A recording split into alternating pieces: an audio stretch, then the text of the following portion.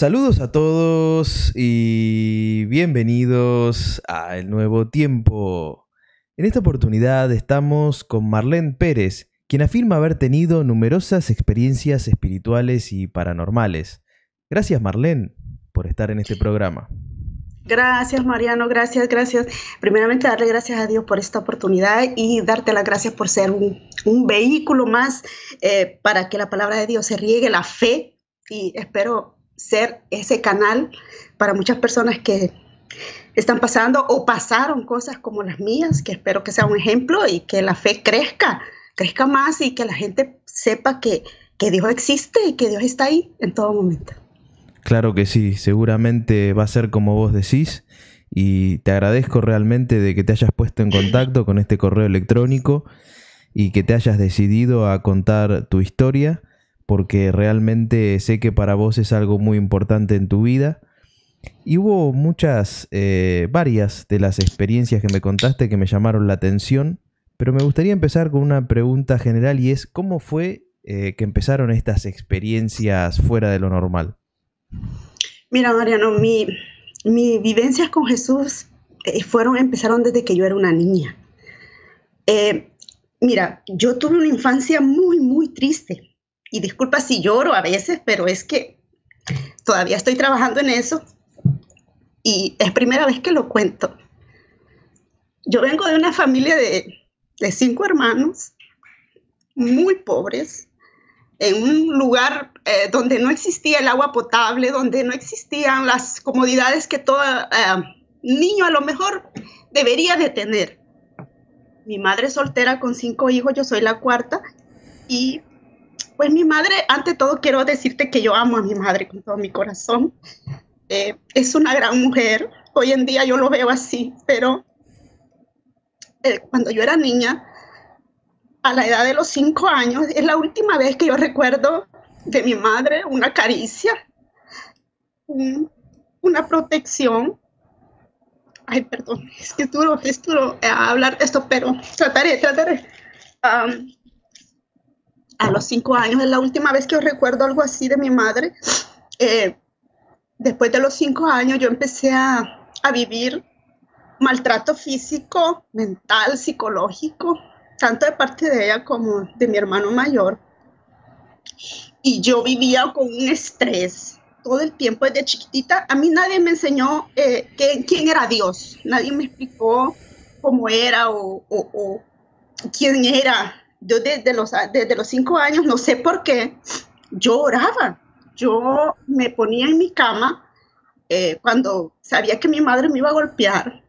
Eh, yo me ponía en la cama, yo le pedía a Dios que me llevara.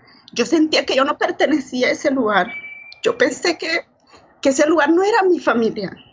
Yo tan chiquita, yo sabía que había algo más allá que me escuchaba. Y yo oraba y yo le decía a Dios que me llevara a los cinco años, seis años aproximadamente.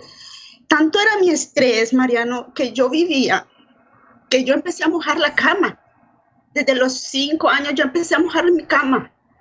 Y eso provocó una ira horrible de parte de mi madre. Ella no había día que mi madre no me golpeara. Era todos los días de mi vida. Me golpeaba, me castigaba, me hacía cosas que, para una niña era inconcebible. Y yo fui guardando en mi corazón desde chiquita pues un resentimiento, pero sabes, siempre escuchaba voces, siempre escuchaba voces en mi cabeza. En ese momento yo pensaba que era normal, que este, a lo mejor estaba loca. Yo pensaba que estaba escuchando cosas que, que no eran normal y por eso nunca las comentaba, pero yo siempre escuchaba voces y siempre había alguien que me decía, eh, perdona a tu madre, ella no sabe lo que está haciendo. Y, y esa voz era tan fuerte, tan fuerte, no, no era normal, pero yo, según yo, era mi mente, ¿no? Y, y, yo siempre escuchaba esa voz. Esa voz se hizo para mí como mi amigo imaginario y el, con el que yo hablaba, jugaba y era el único que me hacía compañía en esos momentos oscuros de, de, la, niñez. cuando, cuando pasó el tiempo, eh, yo no sentía ganas de vivir. Yo a los 10 años yo deseaba morir.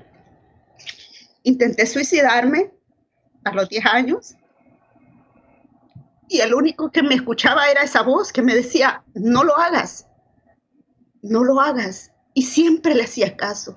Siempre él me detenía, esa voz que me, que me, que me hablaba en mi cabeza. Era fuerte, era algo que, que yo no entendía qué era en ese momento. Pensé que me estaba volviendo loca. A veces hablaba solas con él, hablaba así como que estuviera presente siempre enfrente de mí. Muchas veces mi madre me golpeó cuando me encontraba hablando sola y me decía que yo estaba loca. Y eso fue haciéndome evitar que yo hablara. Trataba la manera de no hacerlo porque, porque me iba a pegar mi madre, entonces no lo hacía. Entonces otra manera que encontré de hablar con ese amigo disque imaginario que, que hablaba conmigo era escribiendo. Y yo escribía, desde muy chiquita, yo escribía y me desahogaba escribiendo y le hacía preguntas y, me contestaba y era algo que, que, me surgía. Pero a medida que pasó el tiempo, eh, las pláticas con ese ser o esa mente o no sé cómo llamarlo en ese momento, pues se hicieron más fuertes.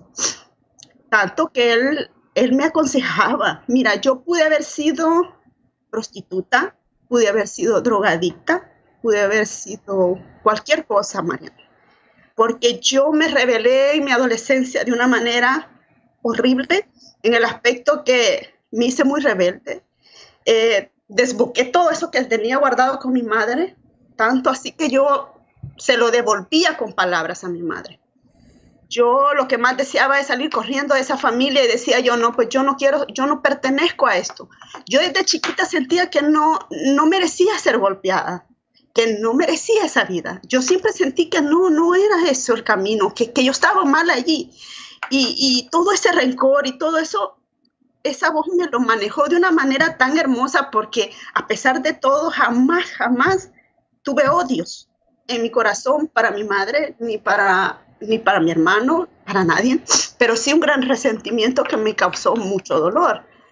Y a, la edad de los aproximadamente 15, 16 años, pues yo me fui de mi casa y, y me empezaron terribles cosas, ¿no? Pero esa voz siempre me guió. Cuando yo, cuando yo iba a hacer algo malo, siempre me decía, no lo hagas, no lo tomes, o no vayas aquí. O, y yo siempre le hacía caso a esa voz. No sé por qué siempre le hacía caso, pero yo pensaba que era yo misma hablándome. Yo, yo eso creía en ese momento porque todavía no tenía la evidencia que fuera Dios. Yo siempre creí y oraba.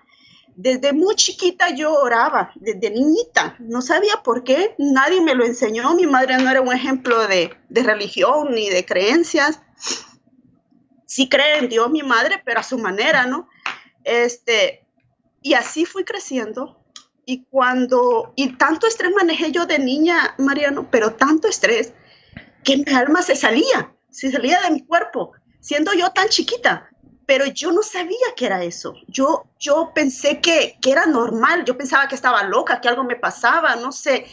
Yo, el mismo estrés que yo manejaba de niña, eso provocó que mi alma se desprendiera de vez en cuando, a veces se salía, pero nunca se iba lejos, siempre era en el mismo lugar donde yo estuviera. Se salía y, yo no entendía qué es lo que me pasaba, solo sentía que yo me miraba yo misma y, y a veces me sentía flotando y podía ir a, al vecino aquí, allá, pero nada más. Era algo que yo decía, pues ha de ser normal, pero jamás, jamás lo conté ni lo comenté con nadie porque yo decía, me van a decir que estoy loca. Y, y conforme los años, Mariano, a la edad de los 16 años, mi alma se desprendió la, por primera vez más allá cuando, cuando salió más allá, fue, fue un susto para mí porque vi cosas que, que jamás había visto. Vi la ciudad, veía la ciudad, veía, veía, podía entrar a, a lugares, y, pero sin control porque no, no sabía lo que me pasó. Pasó el tiempo y bueno, tuve mi primera hija, mi primer fracaso. Eh, fue muy doloroso, pasé muchas cosas súper, súper duras. A veces le hacía caso a mi voz, a veces no le hacía caso. Era algo que, que, que común, normal, porque pues no sabía que era Dios que hablaba, yo pensé que era mi mente, Y, así cometí muchos errores como mamá, como hermana, como, como esposa, como hija, como todo. Y fui y seguí. De luego, eh, mi segundo matrimonio, pues mis depresiones eran súper, súper fuertes, Mariana. Demasiado. Yo pasaba tres días llorando y no podía superar ese dolor. Pero eh, esa etapa de niña que yo tuve tan dolorosa, como que yo la bloqueé. Yo la bloqueé y, y, mis depresiones eran más fuertes que no sabía yo por qué eran. Yo pensé que las depresiones eran porque yo era una mala persona a lo mejor, porque yo, yo, yo estaba enferma, yo necesitaba ayuda psicológica, yo necesitaba algo más. Y, y, y pensé que era normal. Mis depresiones eran horribles, tanto que eh, mi segundo esposo me decía que estaba loca y que necesitaba ayuda psicológica. Y, y yo estaba bien creída que estaba mal, pues yo era una niña muy solitaria, fui una niña muy solitaria, me costó hacer amigos, me aferraba a una amistad, cuando yo encontraba una amistad yo me aferraba tanto, tanto que se enojaban conmigo, yo sufría porque estaba tan ansiosa de amor, tan ansiosa de, un abrazo, de, cariño, de, protección, que, que era increíble cómo me aferraba a una amistad. Entonces me di cuenta que no podía tener amigos que, era, era, algo que yo no podía ni tener amistades, me, me, escondía en mí misma. Eh, siempre fui muy frágil, pero en mi adolescencia saqué lo peor de mí, saqué mi carácter porque no quería que me lastimaran, no quería que me siguieran lastimando, nadie, absolutamente nadie. Cuando yo tuve a, mi, a mis otros dos hijos, pasé unos momentos en que de tanta, tanta pobreza, en la que yo me vi sumergida en tantas depresiones y tantos problemas. Sentía que mi alrededor era tan negativo, tan negativo. Y créeme, me he saltado muchas cosas aquí porque en toda mi vida pasé muchas experiencias extranormales que no eran positivas, eran bastante negativas.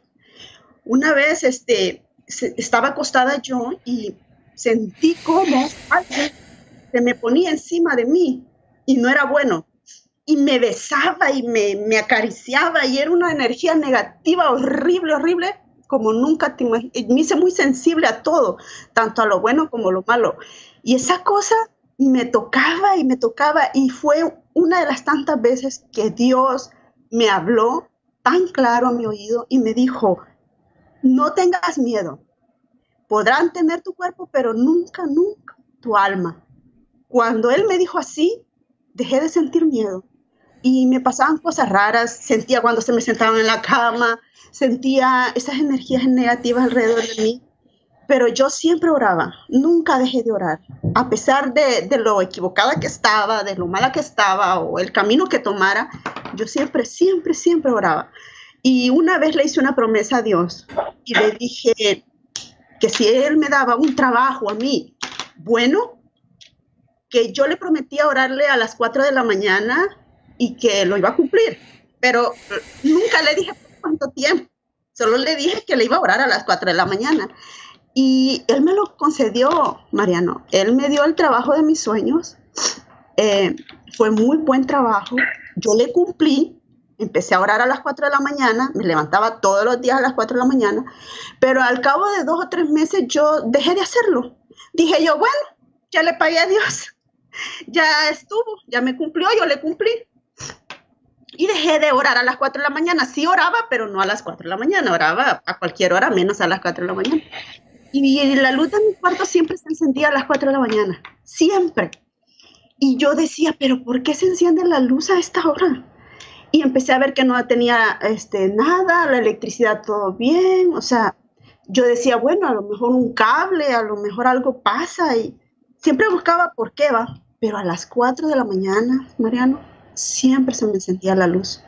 Y si yo tenía una alarma, se encendía aunque yo no la hubiera, se ponía a las 4 de la mañana, todos los días, hasta que deduje que Dios quería que yo le siguiera orando a las 4 de la mañana, porque es que yo no le di tiempo, yo no le dije tres meses, dos meses. Entonces él dedujo, a, Dios hay que hablarle claro, ¿eh? porque él dedujo que toda mi vida. Y entonces dije yo, bueno, si tú quieres que te siga orando a las 4 de la mañana, pues a las 4 de la mañana te voy a orar. Y empecé a orar a las 4 de la mañana todos los días, desde, desde la edad de pone 17, 16, 17 años hasta la fecha, eh, guardé mucho tiempo y, siempre oraba a las 4 de la mañana, hasta que él me indicara que hasta aquí había llegado la promesa, cosa que más o menos me lo dio a entender después con los años. Este, y siempre le, le oré, siempre. Cuando yo pasé, eh, cuando yo perdí mi, mi, gran trabajo, porque lo perdí luego, el trabajo de mis sueños, yo me vi sumergido en una gran pobreza total, donde yo ni tenía para darle de comer a mis hijos. Era una pobreza, Mariano, la cual me hizo huir de esa situación. Se podría decir que huir, pero esa decisión me la puso Dios.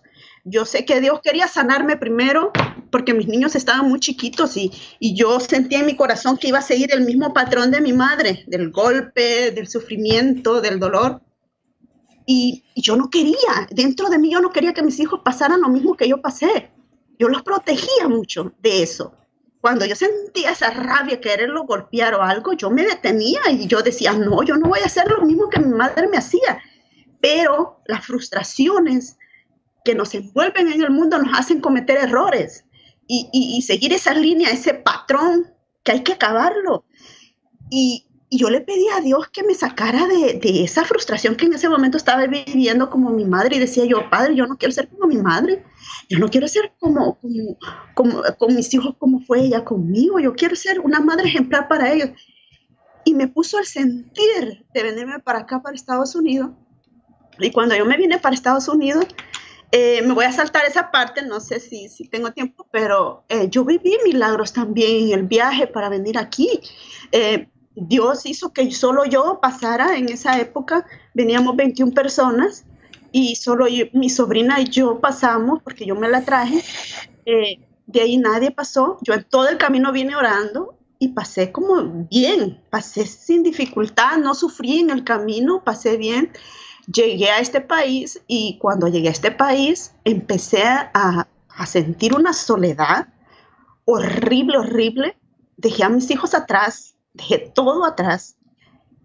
Dios me metió en una soledad, Mariano, en donde quería quizás que yo me encontrara a mí misma.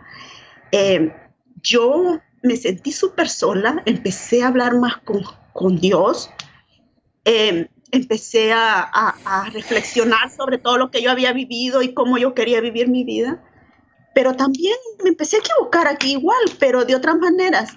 Eh, hubo, cuando yo conocí a mi esposo, lo conocí en un trabajo, él no era el típico hombre que yo buscaba.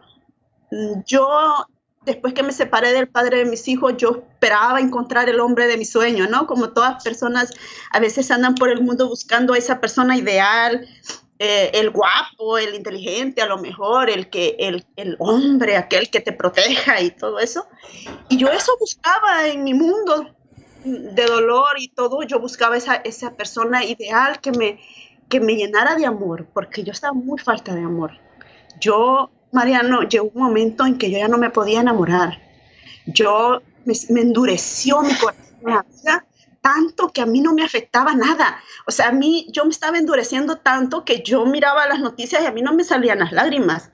Yo podía ver otras personas sufriendo y no me sentía conmovida. O sea, yo estaba como como dura, me estaba endureciendo mi corazón y yo le decía a Dios, yo siento que mi corazón está duro, o sea, ya, ya, ya no aguanto, ya, mi vida es un desastre. Y, y este, igual aquí intenté suicidarme una vez también y y siempre él me detenía, siempre esa voz ahí estaba, ahí estaba, como recalcándome que, que él estaba conmigo, aunque yo no lo creyera. Cuando yo conocí a mi esposo, él para mí era, lo conocí varias semanas y me pareció un muchacho bueno, pero muy maduro, muy una persona que decía yo, no, este muchacho no es para mí, eh, lo cachaba en mentiras, lo veía muy irresponsable, este, y dije yo, no, ya no lo voy a seguir tratando porque no me interesa, no es lo que yo busco, según en mi mente, ¿no? Y cuando una noche yo lloré mucho, mucho, Mariano, mucho. Y, y, le dije yo, ¿para qué, ¿para qué me mandas hombres así, Leo?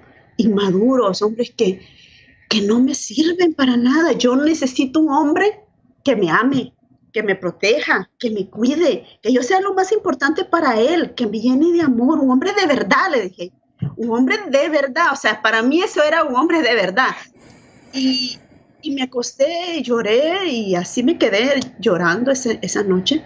Al día siguiente, mi actual esposo me llamó y me dijo que, que quería contarme algo y yo, sí, le dije yo, mirémonos y yo pensaba verlo y decirle, sabes qué, ya no me busques, no me interesas.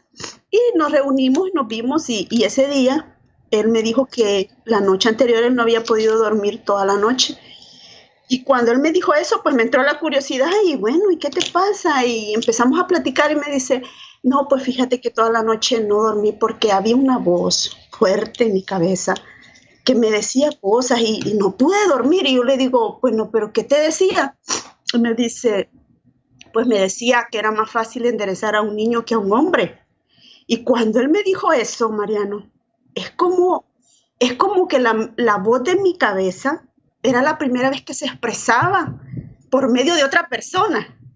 Y fue allí donde yo deduje que esa voz de mi cabeza era Dios hablándome, pero hablándome de una forma diferente, por medio de, otra persona. Y me contestó mi oración en el momento exacto y me dijo, me dio a entender de que, de que aunque él fuera un niño, yo era capaz de hacerlo el hombre que de mis sueños. Y cuando yo oí eso, automáticamente fue como así, un despertar. Mi mente se abrió a, lo, a lo más divino y a lo, a lo que uno no entiende porque fui criada pensando que Dios era castigo, Dios era, era que teníamos que obedecerle y que teníamos que ser buenos porque si no íbamos al infierno. Son cosas que te meten en la cabeza eh, las creencias, ¿no? Y, y bueno, y cuando me dijo eso, yo no le quise contar en el momento a mi esposo eso, no le quise decir, pero en la noche yo le contesté a Dios, yo a Dios le hablaba como mi amigo, yo le hablaba como cualquiera, yo, yo le decía, pues Dios, yo ya escuché tu mensaje y te voy a hacer caso, lo voy a seguir tratando y si esto no funciona es tu culpa. Yo así se lo dije a Dios, es tu culpa y que pase lo que tenga que pasar y está bien, ya te escuché. Y bueno, lo seguí tratando, yo le conté a mi esposo y él se quedó como admirado, increíble, me dice, no, no lo puedo creer porque él también oía voces, pero yo no en ese momento yo no sabía. Entonces, este, cuando lo seguí tratando, seguimos platicando y me empezó a contar sus historias él también. Y yo me quedaba así como, wow, o sea, a él le pasa lo mismo que a mí. Él escucha voces igual que yo y él cree en un Dios diferente no como lo creo yo, pero él me va a enseñar, decía yo. Y, empecé a escucharlo a mi esposo, empecé a, a, escuchar sus historias tan, y yo decía, ¿será? Pero mi fe era tan grande, Mariano, que yo sí le creía. Yo sí le creía porque muchas cosas que a él le pasaban, a mí me pasaban. Hay dos cosas que me gustaría que nos cuentes. Una fue cuando afirmás haber visto los ojos de Dios, esa es una. Y la otra es cuando... Eh, afirmaste que tuviste un viaje del alma con Jesús. Me gustaría que nos relates esas dos experiencias, por favor. Mira, eh, Mariano, eh, eso me pasó después de muchos años, ya cuando ya estaba, ya nos habíamos casado con mi esposo, ya mi relación con Dios hizo más fuerte, empecé a, a, ver cosas más, mis, mis, viajes astrales se hicieron más profundos, yo me salía del alma y yo podía ir a cualquier lado. Entonces, la primera vez que, yo en una visión vi los ojos de Dios eh, fue en una oración. Em, mira, explicarte cómo eran los ojos de Dios es algo que no se puede explicar, pero eran como dos soles, dos soles, pero enormes, enormes, encima de una montaña. La montaña eran montañas o cerros porque se miraba como, y pienso yo que eran cerros porque había mucha, mucha vegetación. Entonces, pero eso el relieve de los cerros, abajo de esos dos soles, reflejaban sus ojos. Y esa mirada que yo vi, y nada más fueron unos segundos, Mariano, yo vi una mirada de poder, de dureza, pero de un total amor, pero no como los como Jesús, era un amor diferente, con fuerza, con poder, con, con autoridad. Es algo que, que me dejó tan impactada que hasta el día de ahora yo no olvido esa imagen, yo no olvido esos ojos. Era, no era el sol amarillo que vemos normalmente, era eran soles los dos, eran, soles como de, de, fuego, color rojizo. Y, y, me miraban, me miraban con una fuerza, pero a la vez con amor. Es bien difícil transmitirte lo que yo vi en esa, en esa visión. Esa fue una, una la primera vez que yo vi sus ojos. La, la, segunda experiencia que yo viví con él fue cuando en una oración eh, yo le dije el grande, porque no era cómo decirle. Yo decía, eh, eh, ¿quieres que te diga el grande? Porque, porque pues, eres el grande, eres Dios. Y a él no le gustó que yo le dijera el grande. Él me lo dijo, me lo dijo en, un sueño. Él me dijo que él no era el grande, porque él cabía en los corazones de todas las personas. Él era tan pequeño también que podía caber en el corazón de todas las personas. Entonces esa noche me dio su nombre, me mostró su mano y en su mano decía Adonai y me dijo que le llamara Adonai. Yo nunca no sabía qué significaba Adonai. Yo busqué y Adonai tenía un significado muy especial. Entonces dije yo, ok, te voy a llamar Adonai. Yo a él no le hablo con mucha reverencia como muchas personas. Yo simplemente hablo como hablar como con un amigo con alguien como tú, estamos hablando, yo así hablo con él y cuando estoy enojada igual, cuando le reprocho algo igual y cuando le pido las cosas igual. Entonces, ese día que me dio su nombre, desde ese entonces yo le empecé a, decir Adonai. Eh, la primera vez que yo tuve la experiencia con Jesús fue una noche que yo estaba, no podía dormir. Cuando a mí me pasan experiencias así de mi alma que se sale, casi siempre yo no puedo dormir y estoy así como ansiosa. Y ese día sentí una energía caliente en todo mi cuerpo que salía de mi, de mi pecho. Era algo caliente, caliente, que estaba saliendo de mi pecho de la nada. Pasó así en un abrir y cerrar de ojos. Cuando yo sentí esa energía caliente, caliente, caliente, veo a, mi izquierda una imagen. Era como una sombra. Mm, sus ojos no se los pude ver a profundidad, pero era la sombra de Jesús. Eh, solo se miraba su cabello oscuro, su barba, sus cejas, y, sabía que era el rostro de Jesús, porque es parecido a las fotografías que nosotros vemos. Eh, y, él me dijo, no tengas miedo, me, me lo dijo tres veces porque yo insistía en que tenía miedo. Yo le dije, tengo mucho miedo, ¿para dónde voy? Y me dijo, me dijo él, no tengas miedo, estarás conmigo, te llevaré a un lugar y tengo que hacerlo rápido porque vamos a ir a velocidad de la luz y tienes que regresarte pronto a tu cuerpo. Tu cuerpo no puede estar, tu alma no puede estar tanto tiempo lejos de tu cuerpo porque moriría. Y entonces cuando me dijo así, dije yo, wow, o sea, eso no lo sabía. Y, y, y sentí que salí, vi mi cuerpo y me metió a una, como cuando tú entras a un tubo oscuro, caes a un tubo oscuro, pero no sabes a dónde vas a caer, a una velocidad. Y yo sentía un miedo, porque es que nunca había viajado a una velocidad tan fuerte, pero siempre vi, veía la sombra de Jesús siempre, siempre a mi lado y me decía, no tengas miedo, aquí estoy contigo. Y me, dejé caer y me dejó en un lugar. Cuando él me, me dejó en ese lugar, ya no lo vi ya no lo vi, él es como que me dejó allí y se fue. Y yo dije, pero ¿dónde estás? No lo vi. Y me dejó en un lugar donde la mitad era oscuridad y la mitad era, era blanco. Y yo estaba tan desubicada así que no hallaba qué hacer. Era como estar aquí en la tierra. Era igualito que estar aquí en la tierra. Era una calle eh, polvosa y, y había como un cerco y del cerco para allá era la oscuridad y del cerco para acá era claridad. Cuando yo me paré así, me agarré del cerco y dije yo, ¿para dónde agarro? Y me asomé a la oscuridad, solo me asomé. Y había muchos ojos, muchos ojos, que solo brillaban en la oscuridad los ojos. Y uno de ellos me dijo muy fuerte, me dijo, no entres aquí, me dijo, tú eres luz, vete. Cuando él me dijo así, yo retrocedí y me quedé así, ¿y aquí qué hago? Y empecé a caminar pero cuando yo volteé a ver así, a la par mía había una niña, una niña que me salió al paso.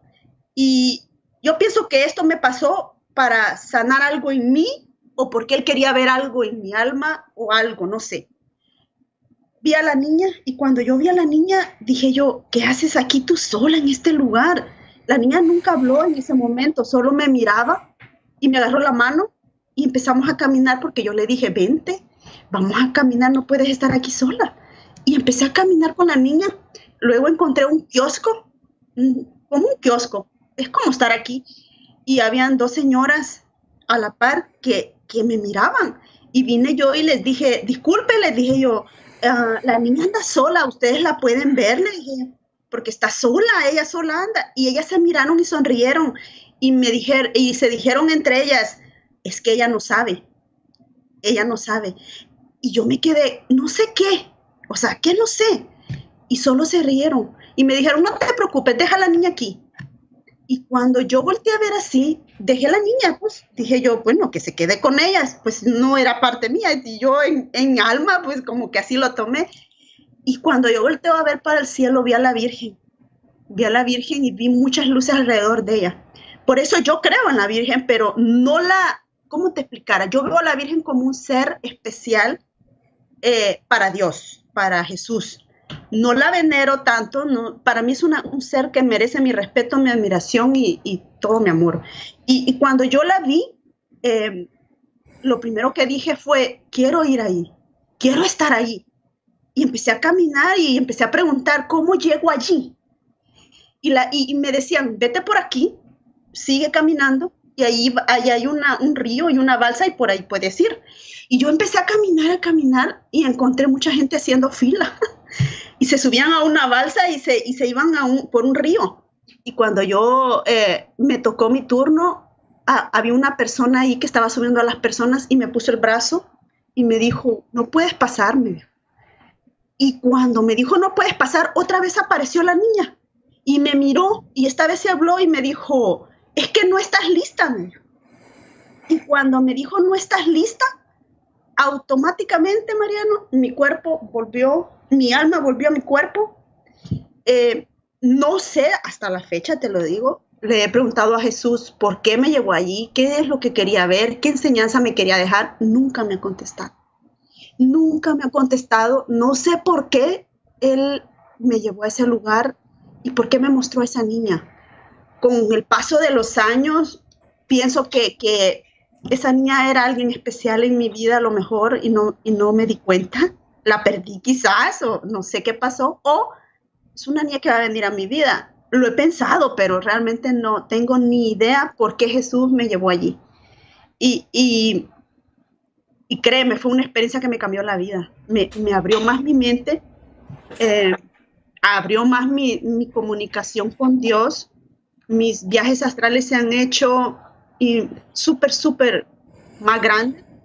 Eh, yo he salido de mi cuerpo y he, visto a Dios. Eh, una vez salí de mi cuerpo tan fuerte que salí de la tierra, vi la tierra, vi un mundo oscuro donde habían personas, vi una bruma oscura a la par de ese mundo oscuro vi una bruma oscura que tenía ojos, tenía, tenía energía, o sea, era energía oscura, y yo pasé de largo, pasé de largo, y así y la energía de Dios en el universo era enorme, enorme, enorme, resplandeciente, como no tienes idea, el triple o cuatro veces más grande que la bruma oscura, y tenía ojos igual, pero cuando yo me iba acercando, es que Dios solamente, mira, no me vio ni de frente, solo me vio de lado. Medio me vio de lado y automáticamente me regresó a mi cuerpo, como quien dice, ¿qué haces aquí? Y me regresó inmediatamente. Y fue una experiencia tan hermosa porque me di cuenta que, que la energía de Dios es mucho más grande que la energía oscura del mal, que, que Dios es todo, Mariana Dios es lo bueno y lo malo. Dios creó todo lo que ves aquí. No hay nada que exista aquí que no lo haya creado Dios. Nada. Y no pasa nada, ni tus pensamientos, ni tus pensamientos, Mariano, que Él no los escuche. Nada. Todo está cabal. Pasan las cosas como tienen que pasar porque Él así lo quiere. No hay nada que pase que Él no quiera. Ahora, el libre albedrío es, es algo que, Dios respeta como no tienes idea. Dios, Dios ha hecho las, las leyes del universo. Dios no se mete, Mariano. Dios dejó leyes en el universo que se respetan, como el libre albedrío, como el karma, como el dharma.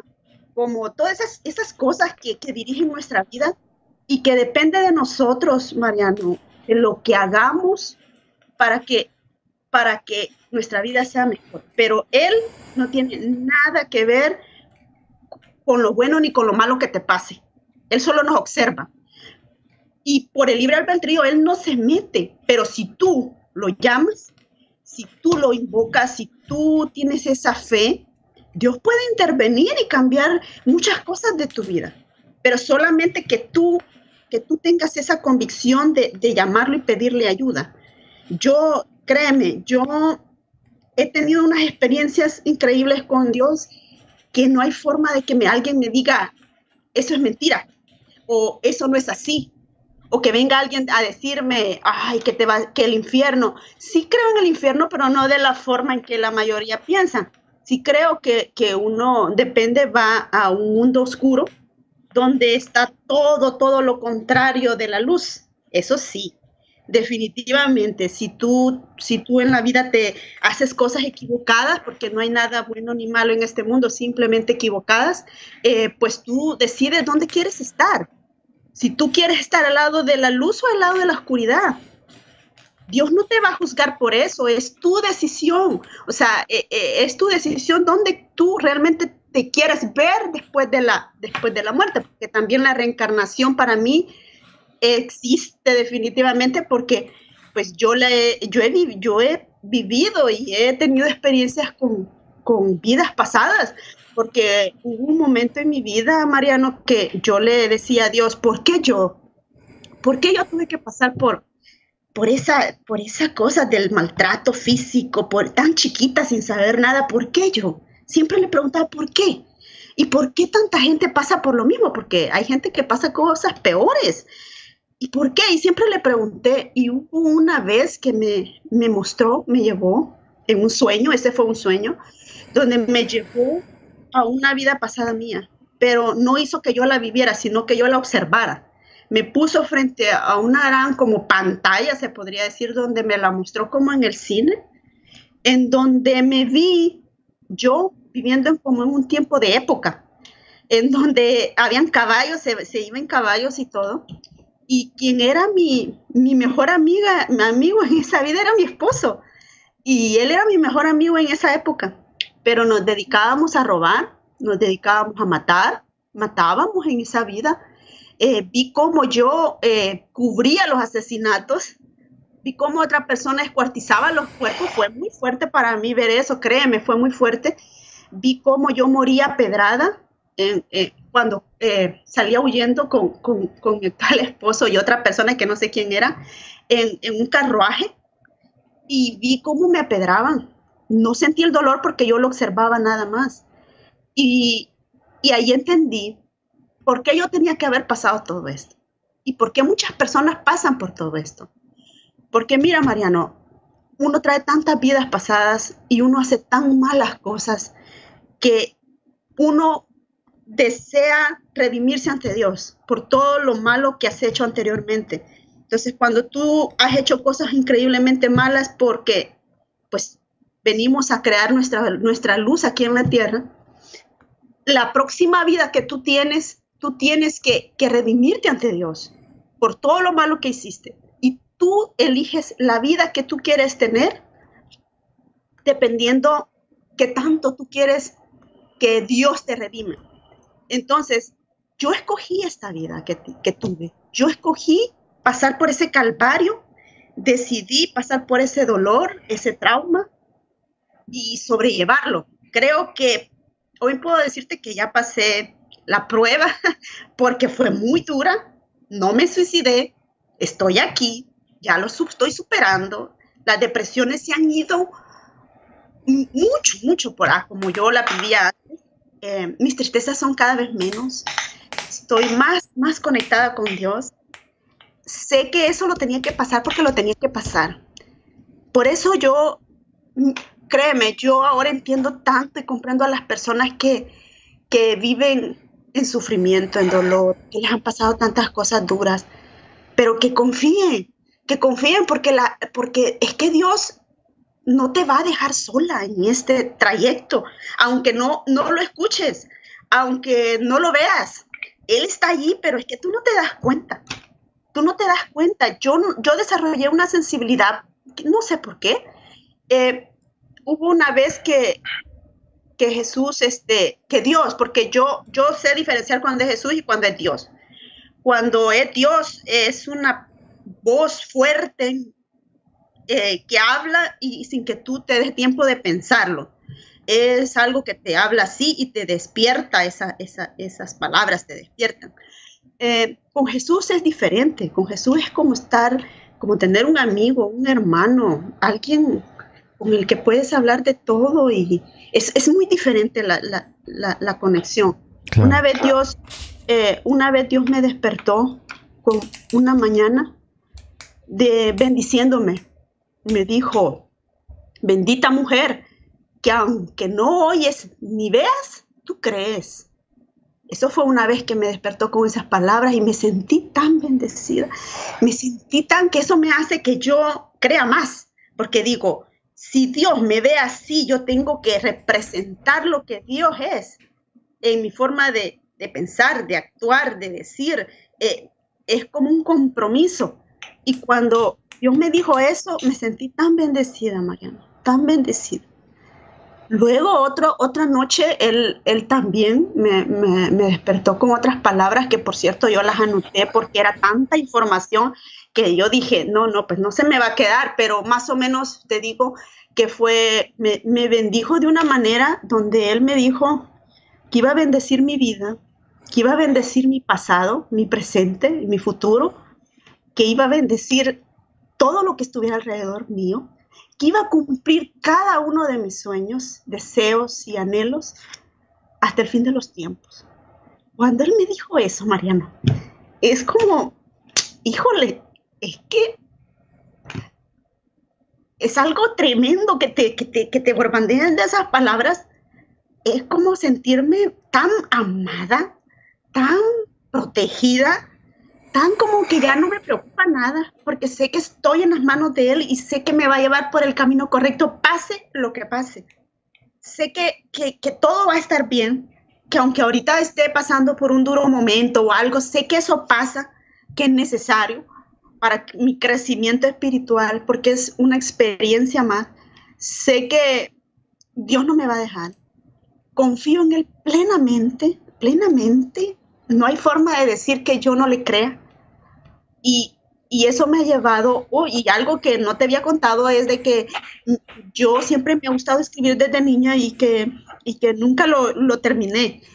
Yo retomé mis, mi vivencia, mi escritura, las, retomé hace como unos cinco o seis años, empecé a escribir todo lo que me estaba pasando, todas las vivencias, lo que Dios me decía, mis viajes, todo. Y una noche Dios me despertó también con algo que me decía, regaré tus palabras por el mundo. Y cuando Él me dijo eso, entendí que yo debería de terminar ese libro, que yo debería de terminarlo. No lo he terminado aún. No tengo ni fondos para publicarlo, no, no estoy ni cerca de publicarlo. Sé que ese libro, esté yo en este mundo o no esté en este mundo, se va a publicar porque Él ya me lo dijo. Yo creo en eso. Él, él él me ha dicho cosas que me han hecho que, que confíe ciegamente en Él. Créeme que Dios ha cambiado mi vida hoy por hoy. Yo eh, no tengo duda que Él existe. Lo siento aquí siempre. Em, siempre trato de seguir su voz. Em, y otra cosa que te iba a decir, ah, mi esposo actualmente eh, en la convivencia también empezó a tener muchas experiencias con Jesús cuando yo le pregunto algo a Dios, cuando yo necesito una respuesta de Dios, me contesta con Él, me contesta con mi esposo. O cuando eh, Dios me quiere dar un consejo, siempre a veces con Jesús me manda la respuesta. Es como que hubiera una conexión entre los dos espiritualmente. Y, sabes, hoy en día me doy cuenta por qué mi esposo es tan amoroso. Mi esposo es un hombre que ahora que es tan amoroso, Mariano, me llena tanto de amor, de, atención, de, de tantas cosas, que él fue el que fue sanando mi corazón. Porque cuando mi corazón se estaba endureciendo, él me lo fue ablandando con tanto amor. El amor que yo no tuve de niña, los apapachos que me negaron chiquita, eh, eh, todo eso, Dios me lo devolvió con mi esposo, porque tengo un esposo hoy en día tan apapachador, tan lleno de amor, tan siempre tiene una palabra justa en el momento justo, siempre me despierta con un beso. Era es tanto tanto amor que lo que no recibí de niña me lo dio hoy de grande. Y eso hizo que mi corazón se fuera como como ablandando. Y hoy por hoy soy la mujer más sensible del mundo. O sea, se ve el cambio que hizo Dios desde que yo era una niña hasta el día de ahora.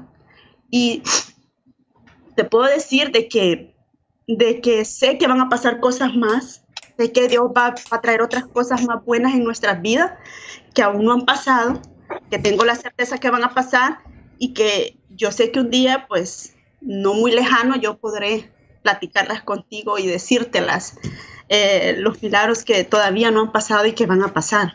Tengo la convicción y la fe de eso. Me gustaría saber ¿Cuál es el mensaje que te gustaría darle a los oyentes en esta entrevista en base a todo lo que has vivido?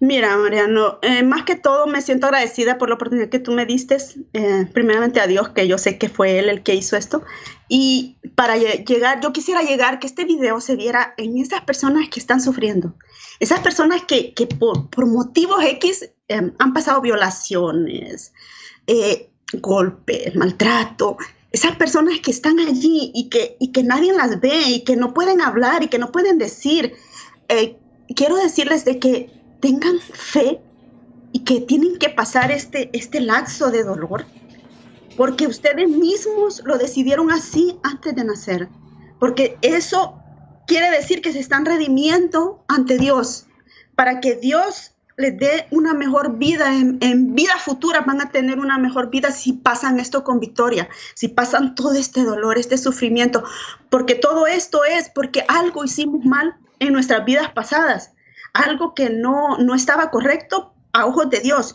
Nosotros decidimos dónde estar. Si tú quieres seguir en oscuridad, sigue llenándote de odio, sigue llenándote de rencor, de envidia, de todo lo equivocado si tú quieres estar con Dios estando en luz, llénate de amor, llénate de paz, llénate de fe.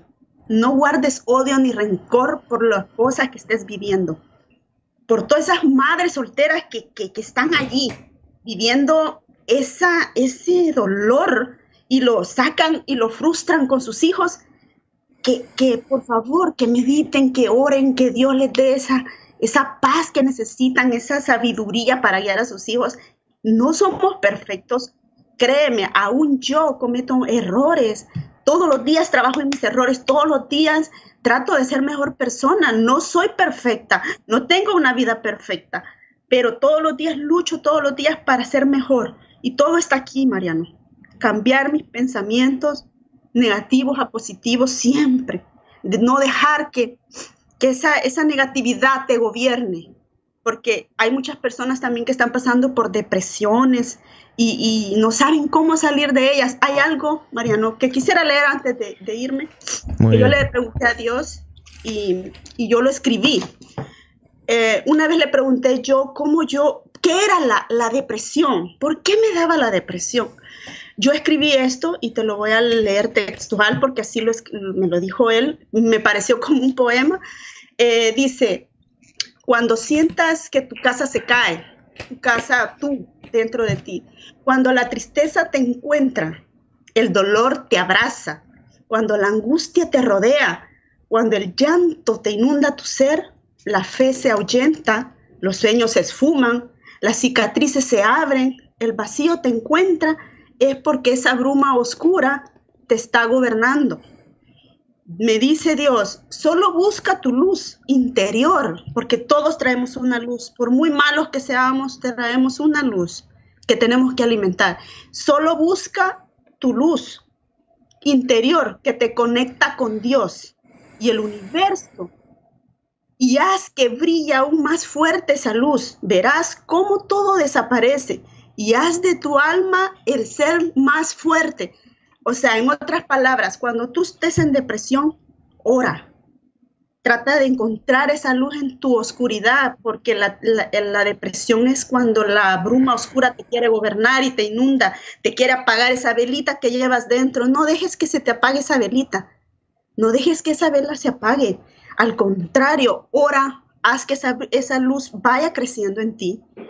Vas a sentir oscuridad, vas a seguir teniendo esas depresiones, pero cada vez van a ser menos. Yo busqué psicólogo y créeme, eh, no niego que te puedan ayudar, pero la ayuda es momentánea. La de Dios es para siempre, siempre, siempre. Te la quita definitivamente y hace que, ya no sufras.